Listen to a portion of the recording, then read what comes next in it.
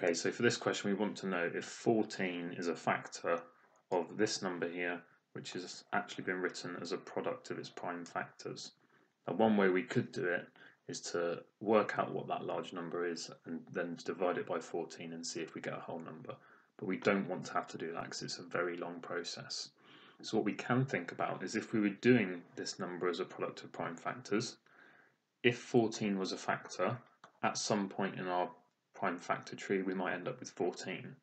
And that would split into 2 times 7 to give our prime factors. So therefore, if our large number here has a 2 and a 7 as its prime factors, then 14 is going to be a factor. And we can see that it does indeed have a 2 and a 7. And the way that you would write this down is to say, yes,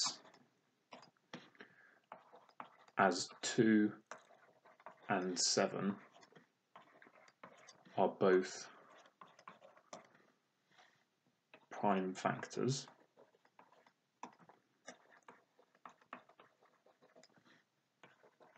and 2 times 7 equals